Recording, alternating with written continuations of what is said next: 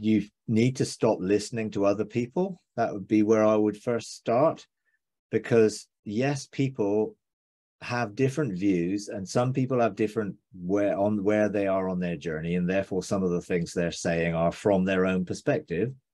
And they're saying well the father said this. Actually he didn't. Not every time everyone says the father said showed me this.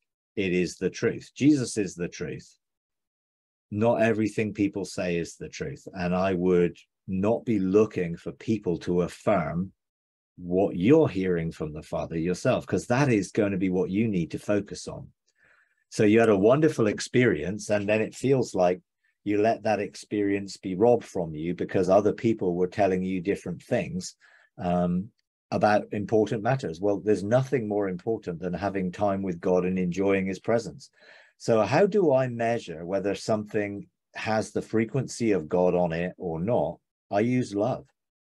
Is this loving? Is this a reflection of a loving God? If it isn't, I am not going to believe it. There's an American prophet who came out recently with some horrible things towards the president of the US. He is not a prophet that spoke from God at that time. Has he spoken from God before? I'm sure he probably has, but that isn't from God.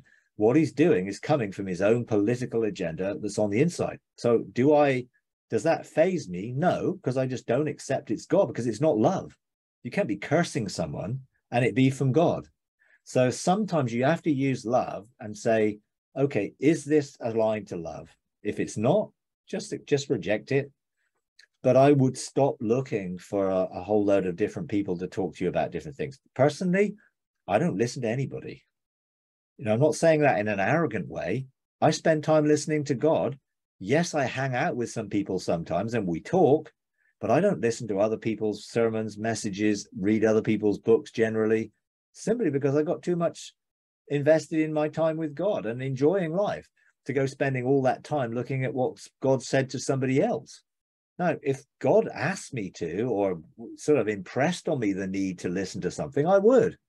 You know, I did listen to something the other day from Brad Jersak on, you know, understanding why the God seems so different in the Old Testament from the New, and it was very helpful and really, uh, it was, yeah, that's great. It just affirmed what I already knew, but it was good to hear it.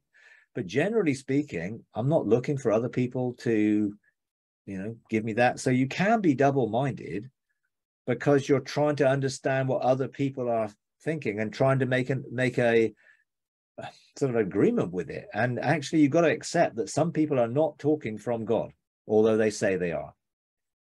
So the less you hear from people, the less you have a problem. It's not a problem to, to question what someone is saying and measure it against love it's not wrong. I'm not critical of those people in that I'm going to publicly come out and say you're wrong. But inside, I'm not going to accept what they're saying because I'm questioning what they're saying and measuring it against love. And I would absolutely doubt what those people are saying. That's not a problem. But doubting what God is saying because other people are saying something contradictory or trying to sway you or tell you what God must be saying, that's that is a problem. Don't be swayed by fear of man. Don't think that you need someone to affirm to you what God is saying to you, because maybe no, he's not saying it to anybody else.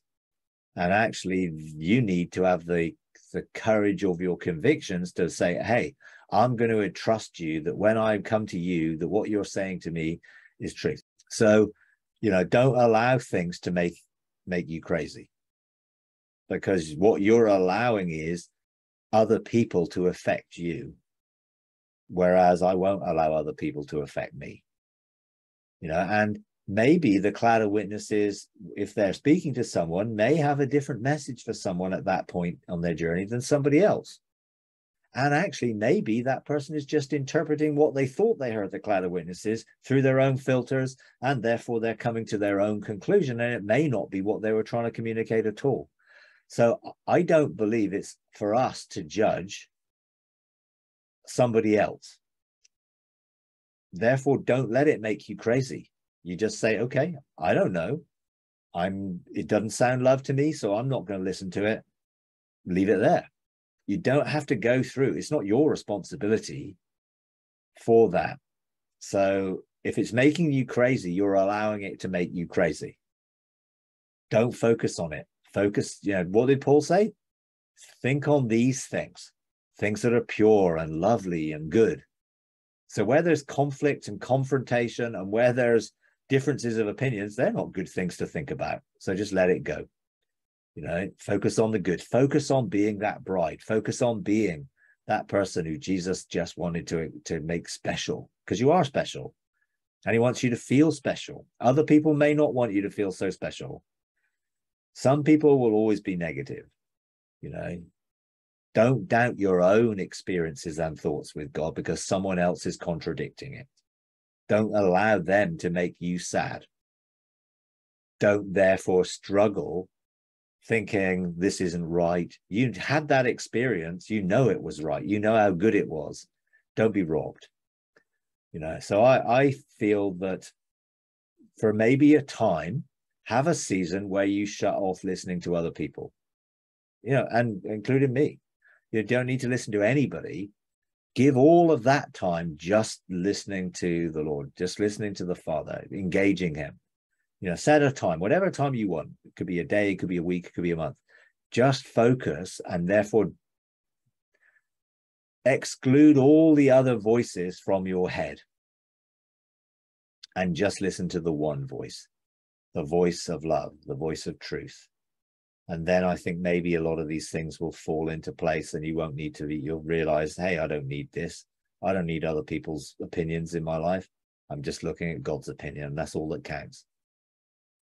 If you enjoy these videos would you please take a moment to like comment and subscribe? It really does help. Thank you very much